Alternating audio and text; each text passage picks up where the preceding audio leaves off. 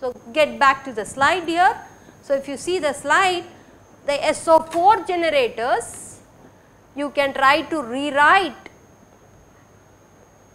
a linear combination with the rescaled Runge vector with L such that you see the I is exactly like an SU2 algebra.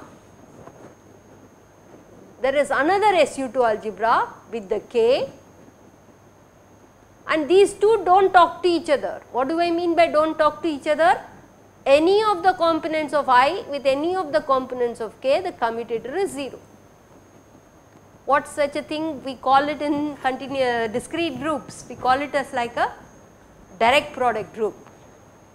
If you have G1 and G2 elements of G1 and G2 commute order really does not matter you call it as a direct product group. Similarly, the SO4 algebra involves two subalgebras which are SU2 and SU2.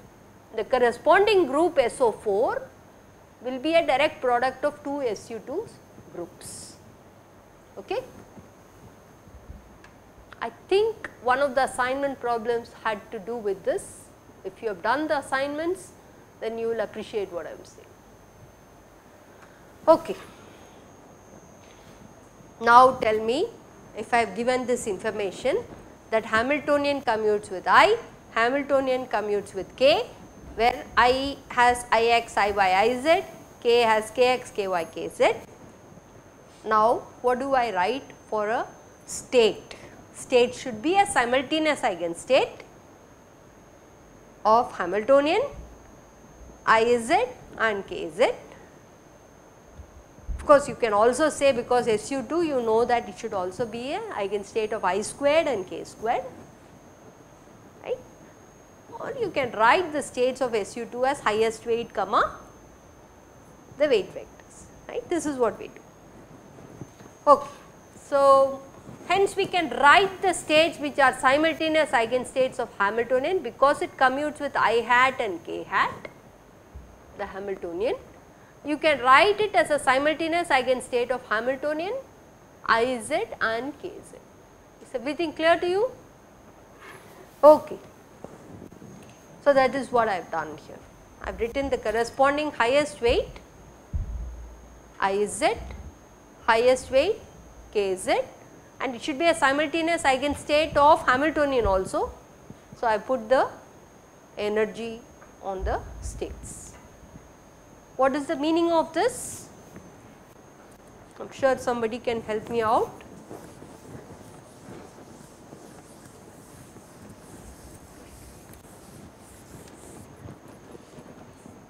Hamiltonian on E, I, Iz, K, Kz will give you E.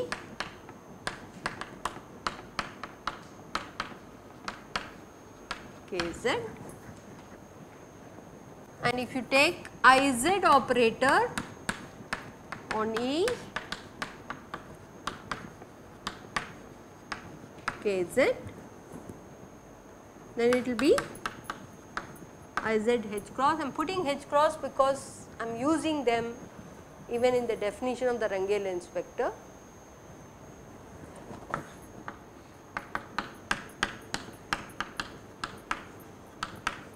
Kz. Okay. Similarly, for Kz, so I satisfies this algebra, right? I wrote you also already. Ix, Iy is Ih cross Iz, Kx, Ky is Ih cross Kz and you also have Ix with Ky or any, any of the components. In fact, I will call it as I and Kj, this is going to be 0. That is why this is SU2 subalgebra, SU2 subalgebra, then the total algebra of SO4. How did we write I and K? We wrote I and K as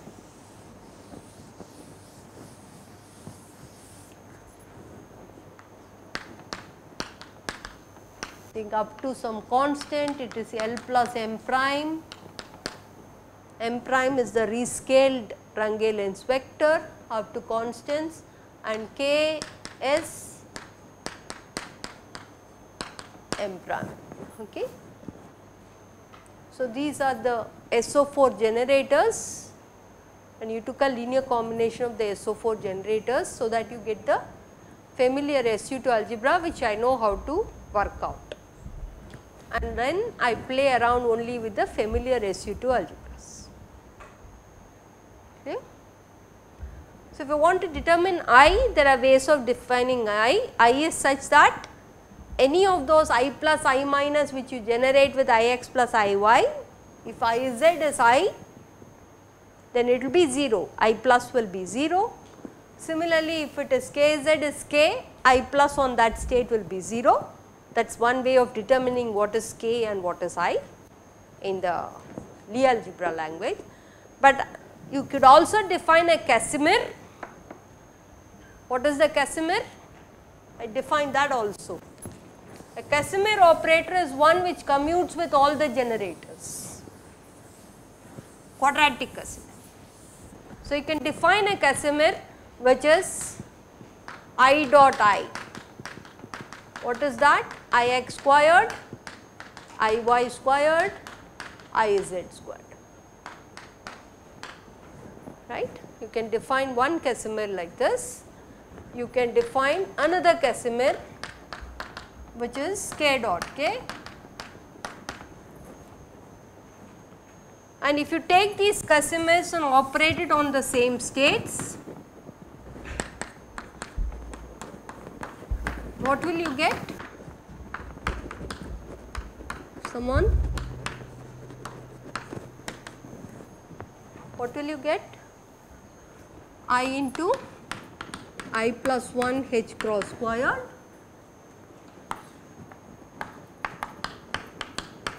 It is an eigenstate. Casimir means it commutes with, it is a linear combination of quadratic bilinears in the generators, it commutes with all the generators. In fact, this commutes with each of the components of Ix, Iz. It also commutes with the Hamiltonian because of that. It also commutes with Kx, Ky, Kz because this commutator is 0. So, that is why it is also you can write an eigenvalue equation involving this. If you did it with C2, what will happen? C2 will give you k into k plus 1 H cross group. Clear?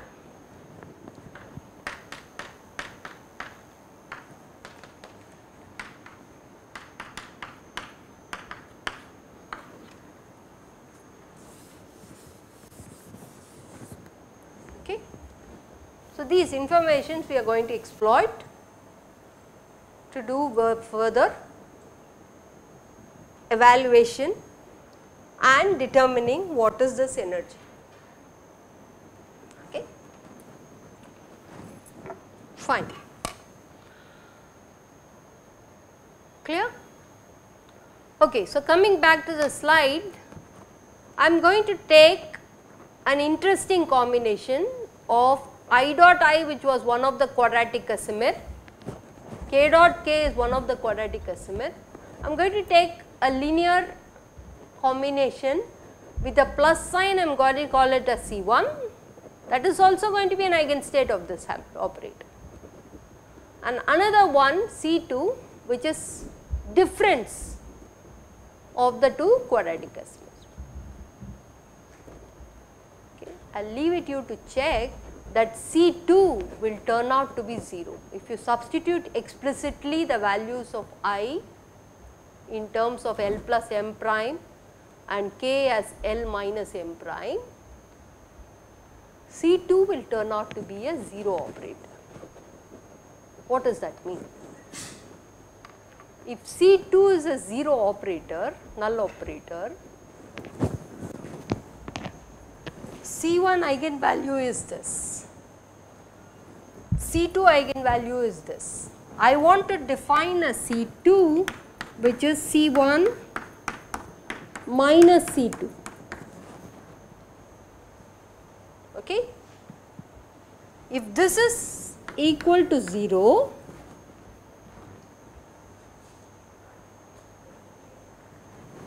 the physics of the system shows that this is 0. Okay. The hydrogen atom spectrum or hydrogen atom operators Runge-Lenz rescale explicitly if you substitute the C1 and C2 you find that the difference is 0. This is a constraint from the hydrogen atom system. Just looking at SU2 cross SU2 you will not have this constraint. If you fall back on the Runge-Lenz vector you see that this is an additional information I get. Okay.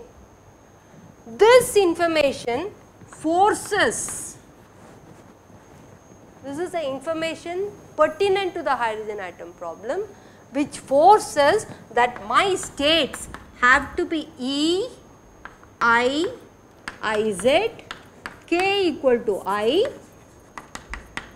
Kz this is a subspace.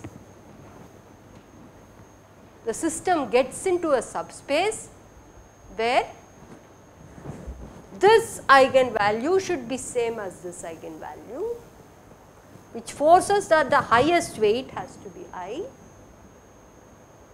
Okay. These two are two SU2 algebras, but the eigenvalue of the second SU2 algebra highest weight should be same as the highest weight of the first SU2 algebra because this constraint comes from my system under investigation. Hydrogen atom where the Runge-Lenz vector scale satisfies this condition.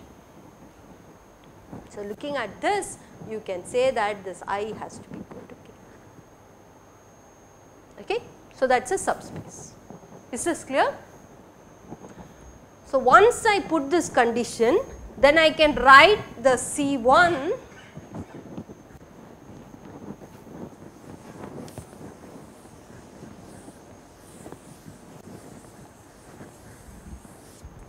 so, C1 is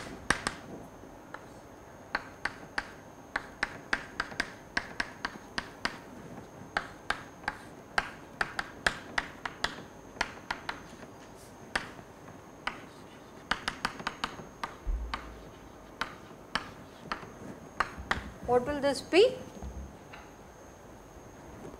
It will add up now. C1 will give you i into i plus 1 h cross square. C2 will also give you k into k plus 1 h cross square, but k is i. So, you will get this to be twice i into i plus 1 h cross square on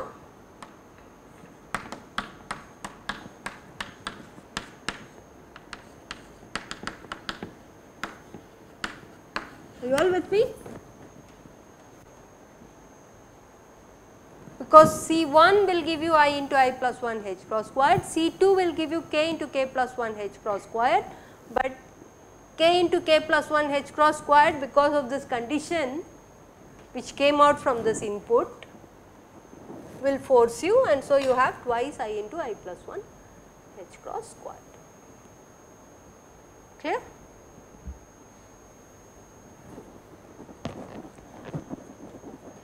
Okay. So, this C1 getting back to the slide, the C1 which I have written C subscript 1 that turns out to be write out in terms of we wrote it as i dot i plus k dot k, but rewrite it in terms of angular momentum, orbital angular momentum and Runge-Lenz vector rescaled. Please do that exercise it turns out that it is going to be L squared plus m prime squared and you can write the quantum mechanical form of m squared to see the expression in terms of the Hamiltonian or energy eigen. This step I am not doing it here, but please check it out. Okay. So, it is going to be the C1 eigenvalue which I wrote has to capture the energy of the state. So, this expression tells you that there is a relation which caps, uh, captures the energy of the state. Okay. So, let me get to that state on the screen. So, C1 on i, i, z, k, k is equal to i, okay, is 2 into i this I have already explained from here what do you have to do? You have to equate h cross squared 2i into i plus 1 has to be equated to the right hand side of this operator which operates on the state. So, the corresponding Hamiltonian will give me energy So, the eigenvalue which you find here should be related to this expression. All agree? Is that clear? C1 operator, the operator form in terms of the Hamiltonian is this. So, you have another eigenvalue for it and that eigenvalue must be same as this expression. From here you can determine for a state with I highest weight here you can determine the energy eigenvalue. Please simplify this. Please simplify and see what you get. It will turn out to be your expected answer provided you call this 2i plus 1 as principal quantum number n. Okay. So, this simplify, please simplify this and see that you will end up getting this. I did not do anything other than exploiting Runge-Lenz vector is a conserved quantity and tried to recast so that it looks like an SO4 algebra. And SO4 can be seen as 2 SU2 and then I had this additional information. Using the Runge-Lenz vector and orbital angular momentum it satisfies this condition and that forced me that I have to work with I and k are not independent, k has to be equal to i. Once I have that condition, I end up getting this eigenvalue, but this eigenvalue should be same as minus h cross squared minus mu kappa squared by 2e 4e. Okay. I am going to put yeah from here you can determine what is E and I am putting a subscript to remember that the state on which it was operating had this I and this turns out to be proportional to minus 1 over 2i plus 1. Okay. So far so good. Okay, so we, we are going to use the fact that C subscript 1 is also in terms of the orbital angular momentum and the scaled Runge-Lenz vector is related to the Hamiltonian and the corresponding eigenvalue will be the energy E as I said on the board. So, that is going to give us I am just summarizing the on the slide. So, the C1 eigenvalue will be it will have eigenvalue i into i plus 1 for i squared and k squared is again i equal to k. So, you have this and substituting and equating both of these eigenvalues which is what I have done here, you end up getting an expression for the energy eigenvalue which is what I explained now. So, clearly you see that i can be half odd integers in general because they are SU2 quantum numbers 2i plus 1 will always be integers. So, replace 2i plus 1 to be n which is nothing it is similar to your principal angular momentum principal quantum number which you see in your hydrogen atom So, essentially the energy eigenvalue replacing 2i plus 1 as n, you get energy eigenvalue to be your familiar energy level stationary states of your hydrogen atom which is proportional to 1 over n squared. Remember this n is 2i plus 1 and n we in the hydrogen atom context we call it principal quantum number and it is integer and i could be half integers, but 2i plus 1 will always be an integer. The next thing which you have to which I already promised you that I will do is how to find the uh, n squared fold degenerate. How, how can you show that each level is n squared degenerate and for that you need to see the physical orbital angular momentum. Okay. The orbital angular momentum as I was explaining here on the board, if i hat and k hat is L plus m prime and L minus m prime, the physical orbital angular momentum is actually a linear combination of i and k. Okay. So, this is going to be like an angular momentum addition of two angular momentum. So, you will end up having the eigenvalues. So, these Lz will be on the eigenstates are Lm with eigenvalues mh cross where m will take values from minus L to plus L and what are the all values allowed for L is given by the angular momentum addition. Okay. So, it will be from i minus k to i plus k. So, you will have because i is equal to k is the constraint which comes from this condition the L values take value from 2i to i minus 1 up to 0. Okay. So, you do see that if you replace 2i plus 1 as n then L goes from 0, 1 to n minus 1 which is what you physically see the azimuthal quantum number given a principal quantum number n you will have azimuthal quantum number taking 0, 1 up till n minus 1 which comes naturally from the angular momentum addition which allows the range of L to be 2i, 2i minus 1 up to 0. Okay. And from there you can determine the degeneracy to be n squared. I am explaining this again on the slide that the orbital angular momentum L is given by addition of two SU2 generators I and K.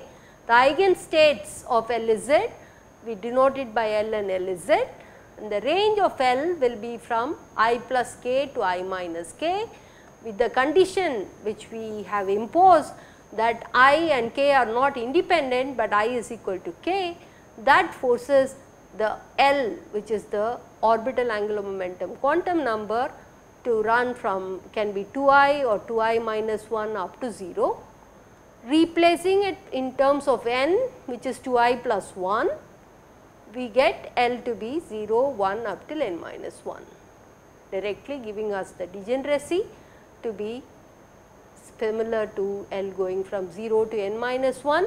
Each of those magnetic quantum numbers will be 2L plus 1 dimension.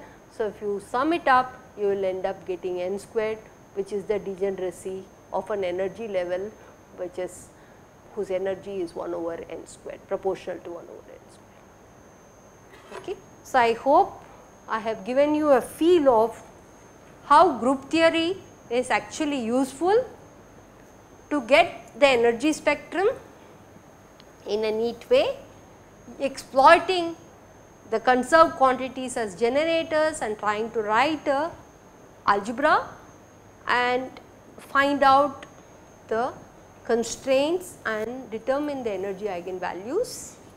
This is what has happened in the hydrogen atom spectrum, but the tool which I have taught can be used for any abstract system or any complex system where you may find a set of conserved quantities, you can try to find the algebra for those generators and see whether they resemble some known Lie algebras. And you can exploit these powers and get certain quantities in an elegant fashion. Okay, I hope you enjoyed the course. And uh, there are certain things like wave function in the hydrogen atom cannot be explicitly determined, but definitely the energy eigenvalues you do not need to go through those complex equations to solve, but use the symmetries including the dynamical symmetry due to Runge-Lenz vector where we have written it as SO4 in getting the energies energies of the stationary states to be proportional to minus 1 over n square in a neat fashion including the degeneracies which is n square. Okay, thank you.